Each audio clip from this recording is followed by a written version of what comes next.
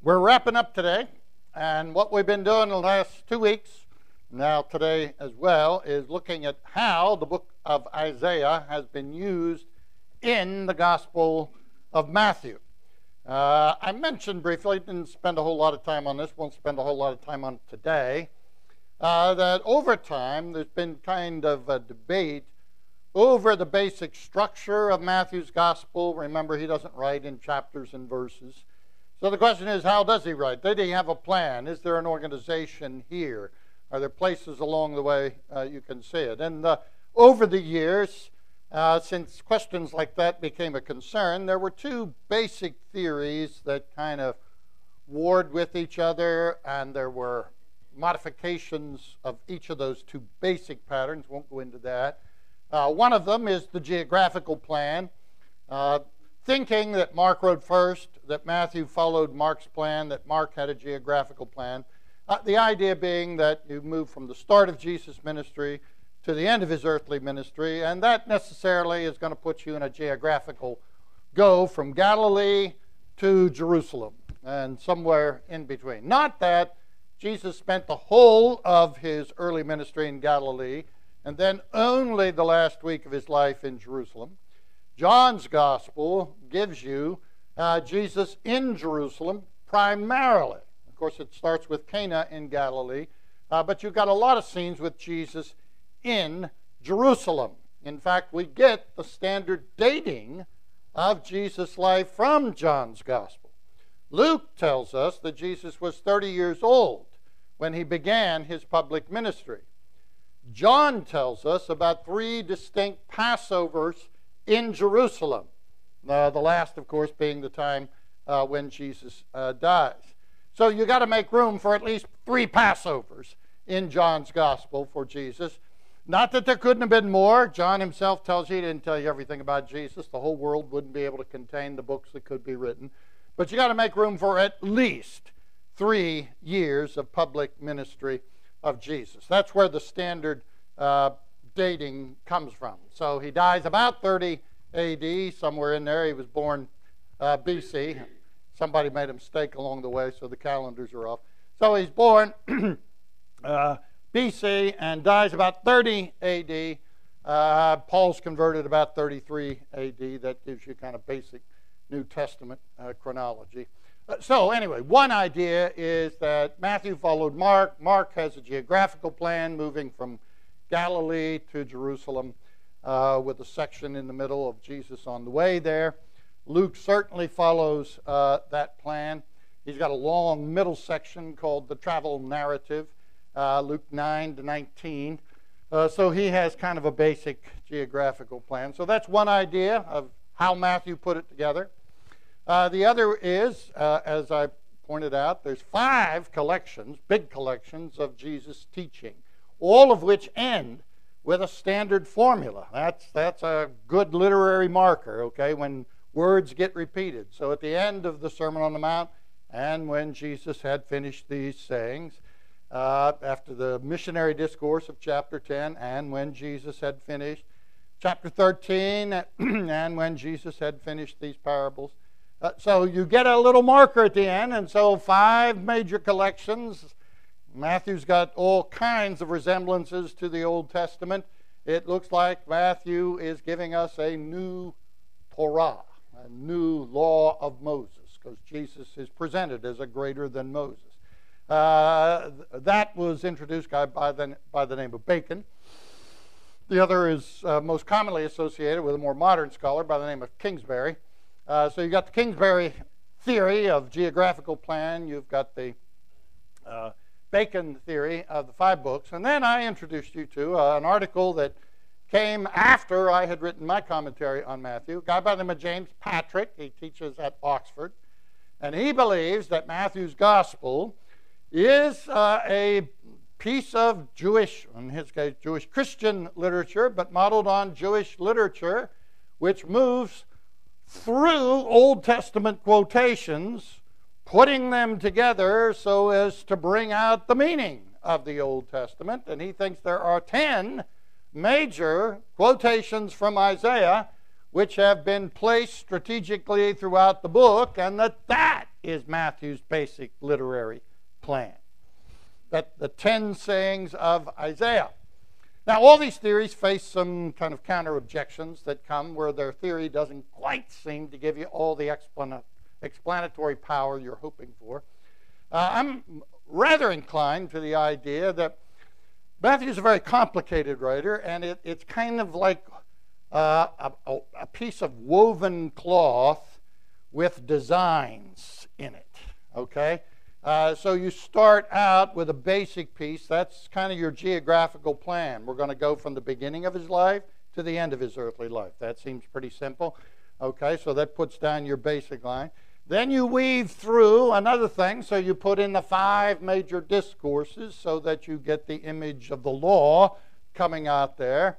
Uh, and then you take another layer in there and you put in the Old Testament quotations, not just from Isaiah, because there's more than just Isaiah. He thinks there's 10 major Isaiah quotations, but he's got to admit that two of them are closer to Zechariah than they are to Isaiah.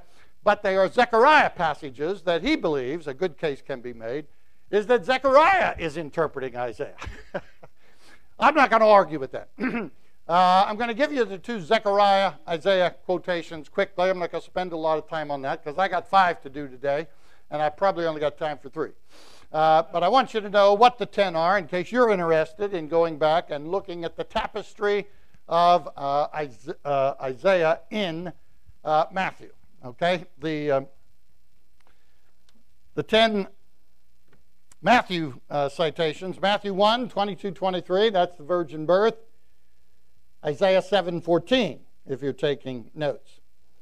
Uh, Matthew chapter 3, uh, this takes you to the uh, beginning of uh, the ministry of John the Baptist and introducing Jesus through that.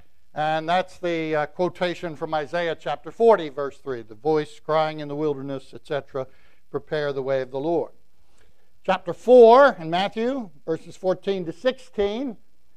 That is the quotation from Isaiah 9, 1 and 2, which begins Jesus' public ministry in Galilee and Matthew tells you it begins in Galilee because that's what the prophet Isaiah said. People who walked in darkness would see a great light, and it's in Galilee of the Gentiles. All right, that's the first three Matthew 1, 22, Matthew 3, 3, Matthew 4, 14, and following, and the passages in Isaiah chapter 7, 14, chapter 40, verse 3, chapter 9, verses 1 and 2. Last week, we looked at two of them. Chapter 8, verse 17. After you have the Sermon on the Mount, chapters 5 through 7, you get a collection of miracles. Ten miracles. So, surprise. uh, another great biblical number. So, you got 10 miracles. Actually, you got 10 miracles in three sets of three. Say, well, how'd you get three sets of three? Well, one miracle gets tucked inside uh, another, as is uh, standard uh, for that particular story. That's the, uh, the woman who uh, intercepts Jesus along the way when he's making his way to another healing, and she touches him secretly in the crowd. Uh, that story always appears in the middle uh, of that story. So you got three sets of three uh, with one tucked uh, in the middle. So, well, why is that a big deal? Uh, well, if you actually look closely, and if we took the time, the ten plagues of Egypt fell in three sets of three. Uh, so it's thought that after Jesus gives you the new Moses with the Sermon on the Mount, as Moses gave the law on the mountain, then you get the ten miracles of the new age uh, as Jesus ushers in the messianic kingdom. Again, I'm not going to uh, take further time. But in the midst of the healings, uh, we get a quotation uh, from Isaiah 53, the final servant song, that by his stripes we are healed.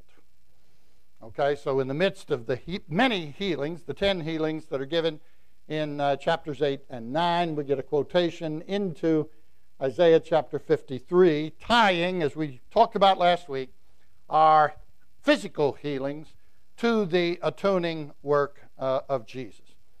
Then in chapter 12, in the midst of controversy with the Jews over more healing, in this case, primarily a, uh, an exorcism uh, of a demon, uh, he cites the first servant song, Isaiah chapter 42. So in chapter 12 of Matthew, verses 17 to 21, you get a quotation of Isaiah 42, verses 1 to 4. All right, so those are the five that we've covered uh, right now.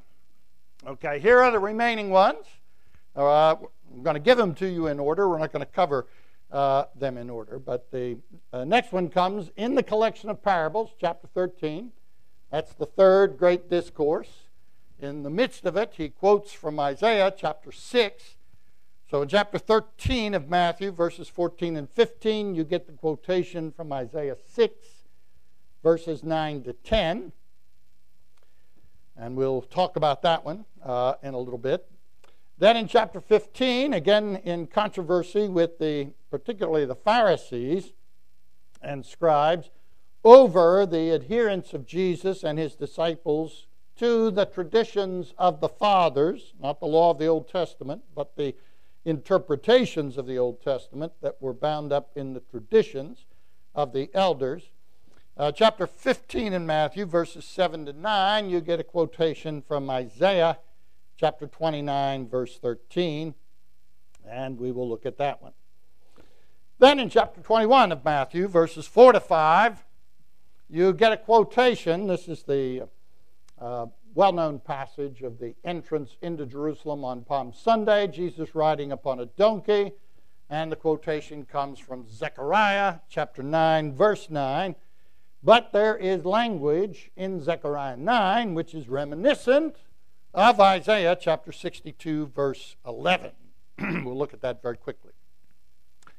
Chapter 21, verse 13, uh, controversy in Jerusalem uh, over the driving out of the money changers from the temple. Chapter 21, verses 4 to 5. Excuse me. Chapter 21, verses 13. Oh, giving you 4 to 5. Chapter 21, verse 13 echoes Isaiah chapter 56, verse 7, about the temple being a house of prayer. We will talk about that one. And that also has language that resembles Jeremiah 7:11 about making the temple a den of thieves or a den of robbers. And then the final quotation is in chapter 26, verses 31 to 32. That's about striking the shepherd. All right, that seems to be more directly a quote from Zechariah chapter 13, verse 7. But the word for striking, uh, the Lord Jesus, also comes in chapter 53, verses 4 to 6. All right, that's James Patrick's list of the 10 Isaiah quotations which structure Matthew's gospel. I say it's, for me, it's kind of the third level of weaving. All right, let me just discuss very quickly the two Zechariah quotations. The first of those is in Matthew chapter 21, verses 4 to 5. This took place to fulfill what was spoken by the prophet. This is one of the fulfillment statements. All this took place to fulfill what was spoken by the prophet. We have 10 of those uh, in Jesus. And the quote comes almost word for word out of Zechariah 9 9. Say to the daughter of Zion, Behold, your king is coming to you, humble and mounted on a donkey, on a colt, the foal of a beast of burden. We have language similar to that in Isaiah chapter 62. At verse 11, Behold, uh, chapter 62, verse 11 Behold, the Lord has proclaimed to the ends of the earth, Say to the daughter of Zion, notice the echo there of Zechariah 9, say to the daughter of Zion, Behold, your salvation comes. Not your king comes, bringing salvation, but your salvation comes. Behold, his reward is with him, and his recompense before him. And they shall be called the holy people, the redeemed of the Lord and you shall be called sought out, a city not forsaken.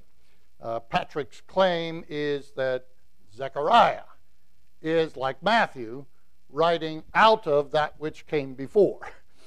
That in his prophecy, he is taking passages from Isaiah and using them as he speaks. All right? I'm just mentioning that and moving on. The second one of those is in chapter 26 and this, of course, pertains uh, to the crucifixion of Jesus. This is the strike the shepherd passage. Chapter 26, Verse 30 And when they had sung a hymn, they went out to the Mount of Olives. Then Jesus said to them, You will all fall away because of me this night. For it is written, I will strike the shepherd, and the sheep of the flock will be scattered. But after I am raised up, I will go before you to Galilee.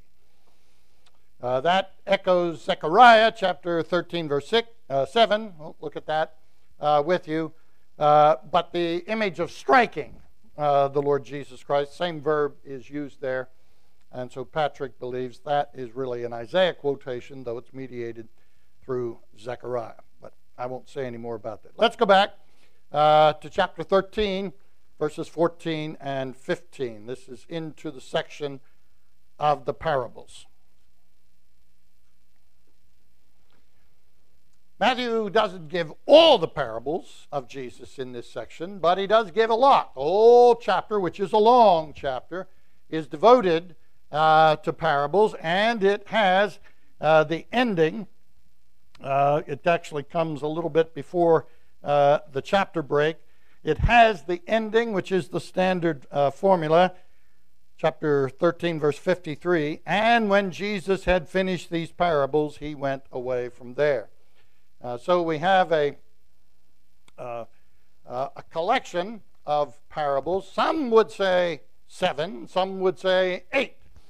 Uh, why would some say seven? Well, it's a very attractive number in the Bible.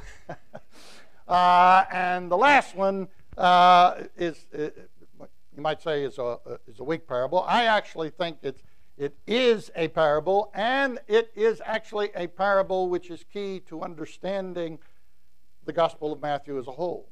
This is, after all, the middle discourse. All right, oftentimes in the Hebrew, the meat is in the middle. Uh, and in this case, we get the parables of the kingdom.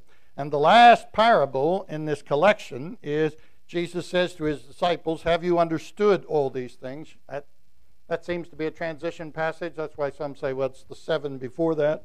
Have you understood all these things? They said to him, Yes.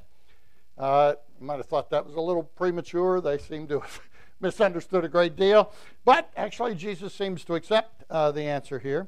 And he says, Therefore, every scribe who has been trained for the kingdom of heaven is like a master of a house who brings out of his treasure what is new and what is old.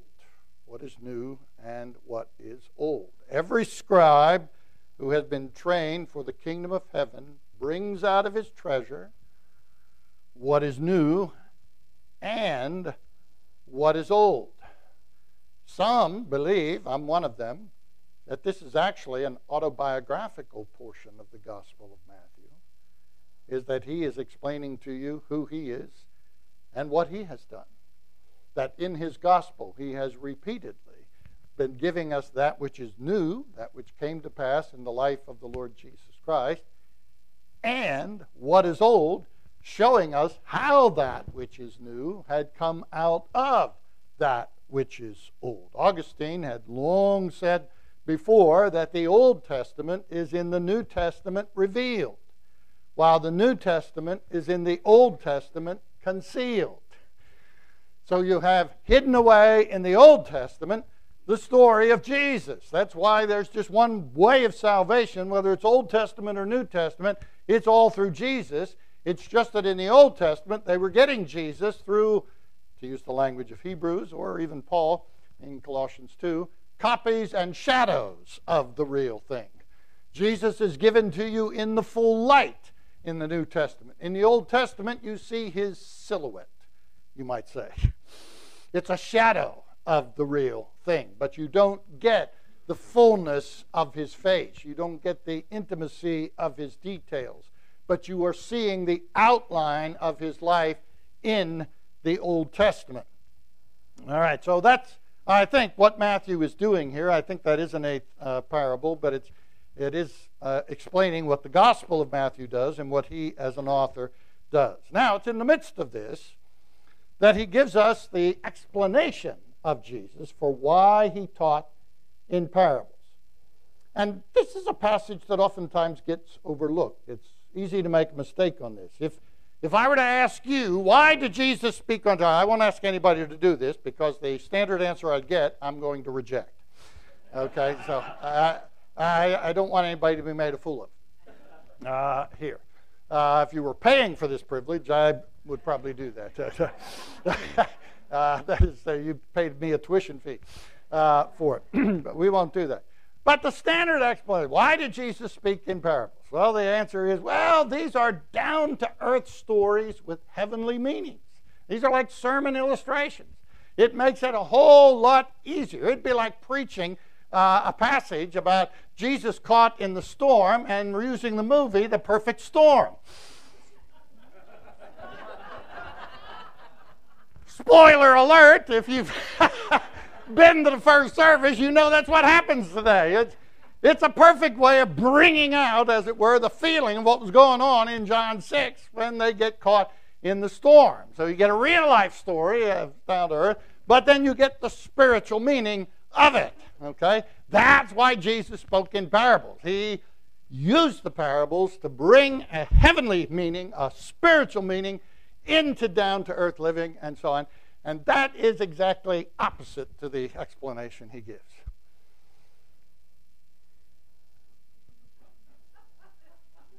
Didn't that surprise you? That's because you and I have always dealt with in the church not parables, but explained parables. Explained parables are different than parables. Okay? If this morning Dr. Stewart got up in the pulpit and told you the story uh, about the perfect storm, the movie, the book, and so on, what's the name of the ship, the Anita Gale or something? Uh, if he had told you that story and said, go home and think about that, and out the door they go, it, what was that all about? I came to hear a sermon, all right? This guy's telling me a sea story. That's what Jesus did with the parables to the crowds. And this happens in Matthew chapter 13, not Matthew chapter 4, when he first begins his public ministry. When he began to teach in parables, things had developed to the point where there was hostility growing and plots were arising. And so the disciples come to Jesus, Matthew 13, verse 10.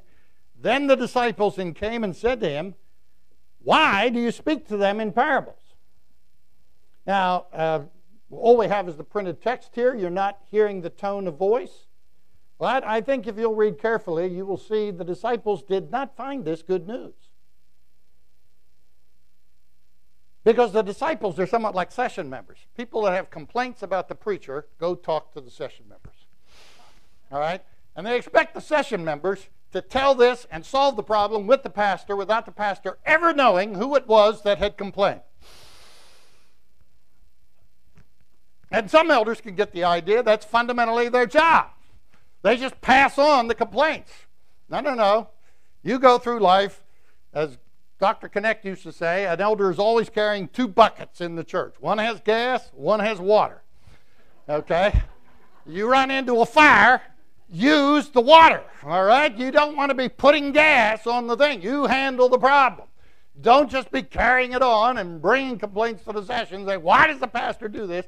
Uh, you handle the problem. You support your pastor. Those the disciples have come to Jesus. Why do you speak to them in parables? What's all this about? And his answer is to you, to you disciples, it has been given to know the secrets of the kingdom of heaven, but to them it has not been given. For to the one who has, more will be given, and he will have abundance. But from the one who has not, even what he has will be taken away. That is why I speak to them in parables, because seeing they do not see, and hearing they do not hear, nor do they understand. Indeed, in their case, the prophecy of Isaiah is fulfilled that says, You will indeed hear, but never understand. You will indeed see, but never perceive. For this people's hearts has, heart has grown dull, and with their ears they can barely hear, and their eyes they have closed, lest they should see with their eyes, and hear with their ears, and understand with their heart, and turn, and I would heal them. The reason he spoke to them in parables is that this was an act of judgment against them. Why? Because they hadn't paid attention to what had been told to them. They had heard it, they had heard it, they had heard it, and they had stopped up their ears, they had closed their eyes, they had refused to hear, and so they're being handed over to their blindness and to their deafness. That was Isaiah's ministry. He was coming to prophesy to a people that were not going to listen. And so that's why, kind of midway through the book, not quite midway literarily, chapter 40, that's why Isaiah, it comes to a point where God tells him to seal up the prophecy. Because what's coming next is for way down the road, generations down the road. In other words, the verdict has already been rendered on this generation. They will not hear, they will not repent. God has come to the end with them, and they will be carried off into exile. It is what the theologians call judicial hardening. It's what happened to Pharaoh. Because Pharaoh would not repent under the word of God and under the miracles that came, his heart was hardened.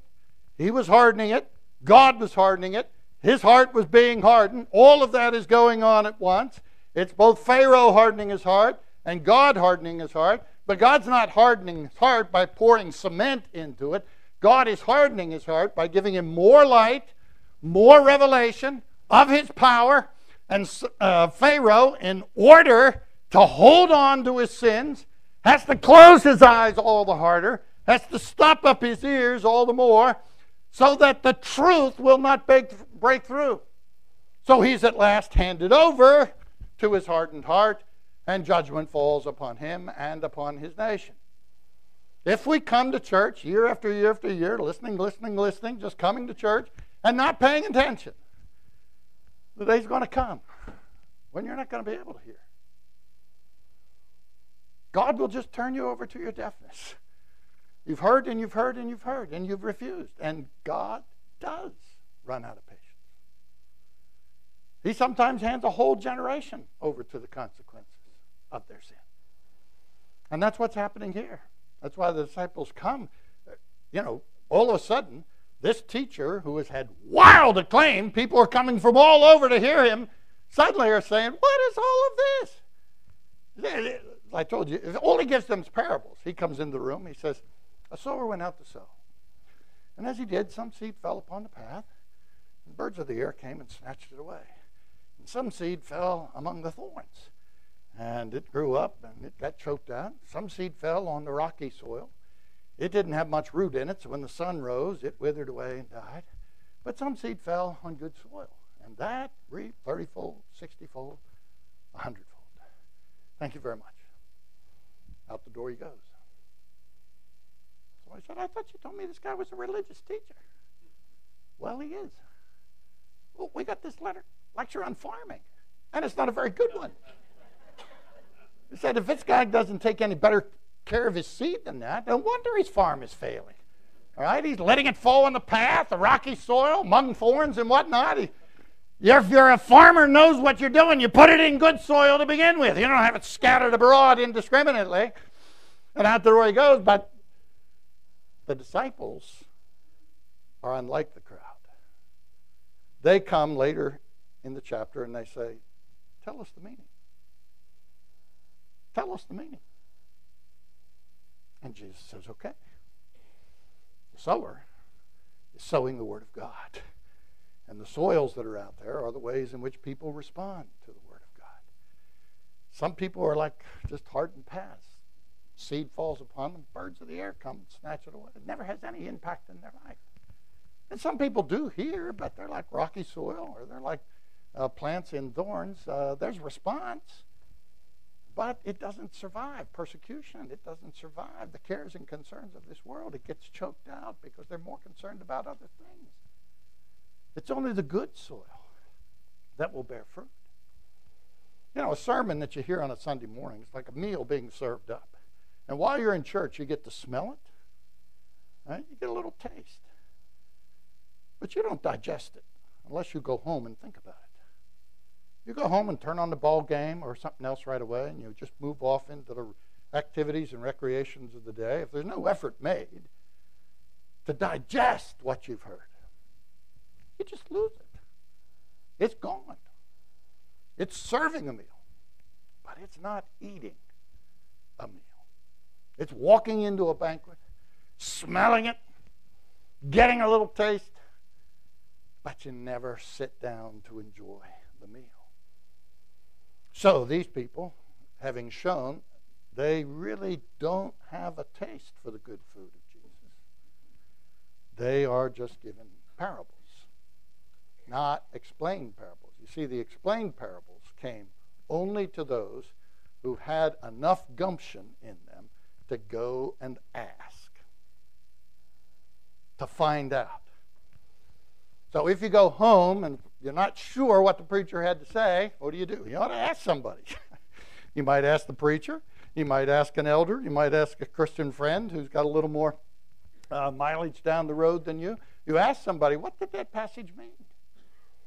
And because you make the effort, because you pray to God and say, God, I didn't understand that sermon. What is there in this sermon that I needed? Then, when God gives the meaning of the sermon, it sticks with you. It sticks with you. All right, that's chapter 13. Now, chapter 15.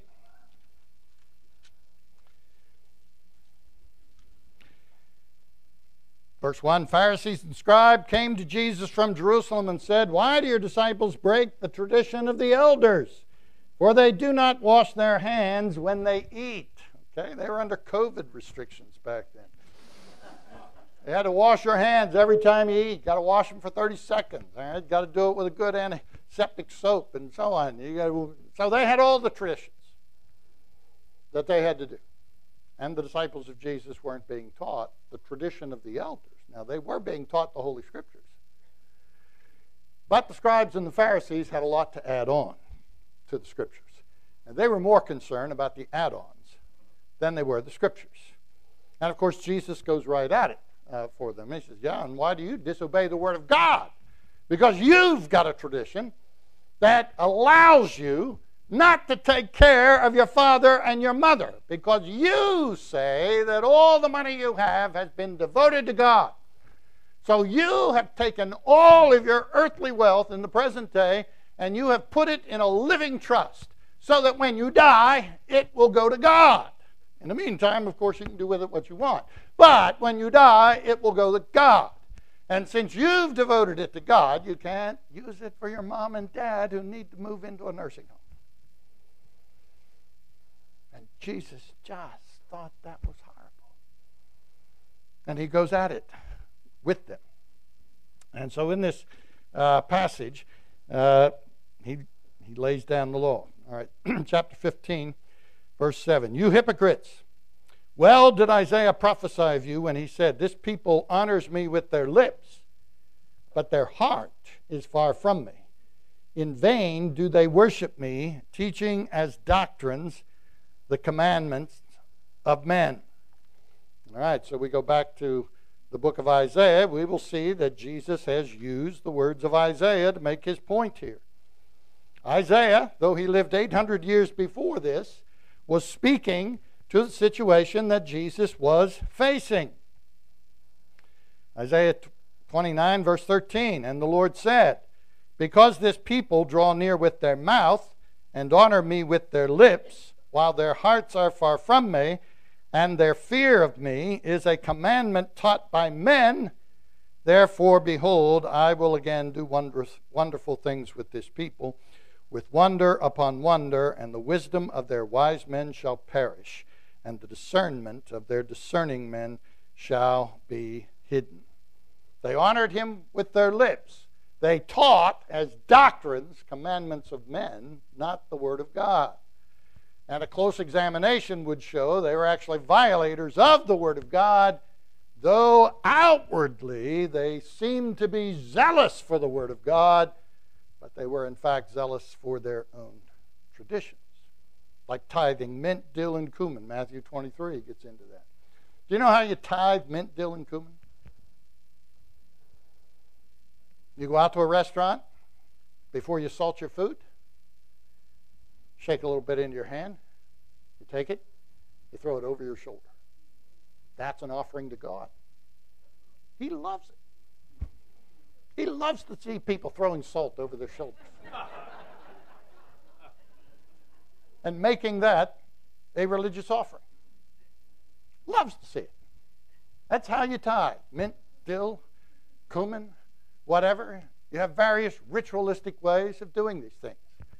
Uh, I think I've told some of you this. Uh, I got a sister who's, uh, uh, well, she's a pianist, but she's got other artistic interests, and one of them was learning how to cook. So uh, she was single. She would go away on weekends uh, and and take these classes with these famous chefs, you know, and learn how to cook up a big meal. And uh, I'd invited her to come with us to the beach one year. Uh, she said, "Is that near Charleston?" I said, yeah, "About 45 minutes from Charleston." Said, "We go in there to a restaurant." Sure, you want to go to Charleston? We go. She said, "Well, there's a chef down there by the name of I can't think of it right now. He's on TV." Uh, anyway, she said, "I took a a, uh, a, seminar with him in Kansas City, and uh, uh, Chef Bob Waggoner." Uh, I took a seminar with him. I'd love to go there. I said, all right, we'll go there. So I looked it up. Where is Chef Bob Waggoner in Charleston? You know, you Google it, and I found out. Well, know, he's at the main restaurant in Charleston. he was right there in the middle of the Omni Hotel, and I called her back, and I said, "Yeah, I found him." She said, "Well, let's go." And I said, "Well, it looks to me, and this was I don't know, 15 years ago. I said, it looks to me like it's going to be $50 a plate just to get out the door." She said, It "Doesn't matter. I'll pay for it all." All right. In we go. So we signed up. We got down there. And while we're having this meal, and uh, let me tell you, it was worth $50. it was worth every, every bit of it. Uh, while we're eating there, the guy next to me uh, says to his wife, Where's the salt? I can't find the salt. And I thought, Well, this guy doesn't have any salt. So I looked at our table. Well, there's no salt on my table. There's no pepper either. I looked at the next table and the next table and the next table. I said to my sister, I said, you know, I think Chef Bob Waggoner thinks he knows how this food ought to taste. He doesn't want people messing with it. Uh, which was true. when meal was over and we were getting ready to go, she had to go to the ladies' room. The ladies' room door was right off the doorway into the kitchen. Uh, and as she's coming out of the restroom, a waiter is going back into the kitchen to get something, uh, evidently uh, in a matter, manner of disgust, and he blows the door open and he said, Oh my, there's a man out there who wants A1 steak sauce. you got the impression that that was the ultimate blasphemy of Chef Bob Waggoner, that you would take his steak and you would cover it with A1 steak sauce. Well, the scribes and the Pharisees were covering the rituals of Yahweh with A1 steak sauce. They tied mint, dill, and cumin, but they were violating the law of God. And Jesus exposed it for what it was. And what they were doing, Isaiah had talked about 800 years before. This people honors me with their lips, but their hearts are far from me. They teach as doctrine the commandments of men. All right, the last one. chapter 21. And this is a suitable place to end, even though it's not at the end of the gospel and it's uh, not uh, uh, on the uh, uh, crucifixion of Jesus or the resurrection that are yet to come. But this, uh, this event coming early after Jesus has entered the city, in many ways, takes us to the end of the Bible uh, and the consummation of God's uh, plan. So, chapter 21, Jesus is coming into the city. Uh, and we read at verse 4 This took place to fulfill what was spoken by the prophet, saying, Say to the daughter of Zion, Behold, your king is coming to you, humble uh, on a donkey and on a colt, the foal of a beast. All right, there's the Zechariah 9, the entrance of the city. The king is coming uh, into the city. All right. Uh, once he gets in there, uh, verse 12 says, And Jesus entered the temple and drove out all who sold and bought in the temple. And he overturned the tables of the money changers and the seats of those who sold pigeons. He said to them, It is written, My house shall be called a house of prayer, but you make it a den of robbers. And the blind and the lame came to him in the temple, and he healed them. But when the chief priests and the scribes saw the wonderful things that he did, and children crying out in the temple, Hosanna to the Son of David, they were indignant. And they said to him, Do you hear what these are saying? And Jesus said to them, Yes. Have you never read, Out of the mouth of infants and nursing babes you have prepared praise? And leaving them, he went out of the city to Bethany and lodged there. Confrontation in the temple. What is going on in the temple? He doesn't enter the temple into what we would call the main building. Okay? He doesn't go to the Holy of Holies. He is, after all, not a descendant of Aaron. He's not the high priest. He doesn't violate the law. He's not even a Levite. He descends from the house of Judah. Now, he is a priest, but he's a priest after the order of Melchizedek. He enters the outer court of the building. Okay? And so we have the court outside where the sacrifices are performed. And beyond that, we have a court for the Gentiles. This is a, an enlarged version of the temple that uh, Herod had uh, built over 46 years. John chapter 2, this temple took 46 years to build. That was Herod uh, that did all that, this big and large. Mean, it was a fantastic complex. You remember the disciples looked with awe on it as they went up the Mount of Olives later that week. Uh, and Jesus gave them the discourse uh, from the Mount of Olives. They're in the court where pigeons were sold. Who would buy pigeons? The poor. And Jesus says, My house is to be called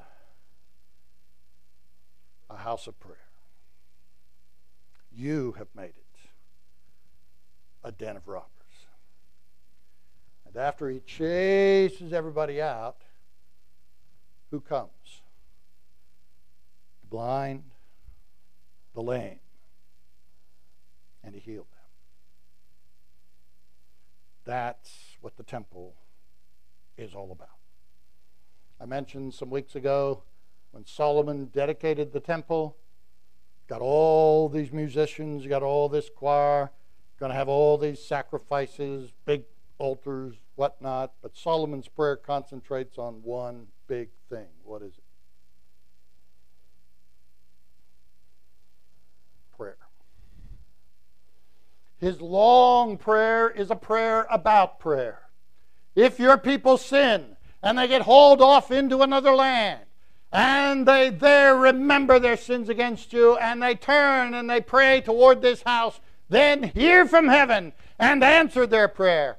If your people have sinned and the sky holds its rain, and so there are no crops to be found, and your people recognize their sin and they turn and pray toward this house, then hear from heaven and come down and answer their prayer. It is to be a house of prayer. That temple was to be a gigantic satellite dish which would beam our prayers up to heaven and receive heaven's response to come down. It was the communication device between heaven and earth, it was the touch between heaven and earth. It was the place where God was manifest to his people in the biggest way. And they had turned it into a den of robbers.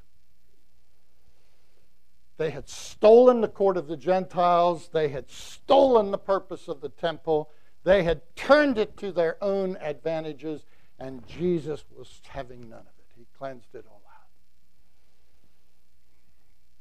That temple was the foreshadow of the end of the Bible. The new heavens and the new earth, the bride of Christ, great announcement of Revelation 21 is Behold, the tabernacle of God is with men. He will dwell among them, and they shall be his people. And God himself shall be with them and he shall wipe away every tear from their eyes. There shall no longer be any death, neither mourning nor crying nor pain anymore, for all the former things have passed away. That's where the Bible ends. The Bible started with a wedding, the Bible ends with a wedding. The last wedding is Christ coming to receive his bride, his bride descending out of heaven in all her glory. And they are happily joined together to live happily ever after. And prayer is kind of the embodiment of that. And that's what the temple was all about. That before the end comes, before the day you stand in the presence of Christ and you no longer have any needs, his house, his dwelling place among his people was to be your refuge and strength. And they had taken it all away. They had made it into a place of blasphemy. They observed the commandments of men rather than the law of God. They cut off the access of prayer. They made it a den of robbers rather than a place where people could come and find acceptance. He still has a place of acceptance. You draw near to Him in Jesus Christ. And wherever you be, as far away as you get, if you'll turn and face that place, that Jesus Christ, He will indeed hear from heaven and come down and be with you all the days of your life. Thanks be to God. Let's pray.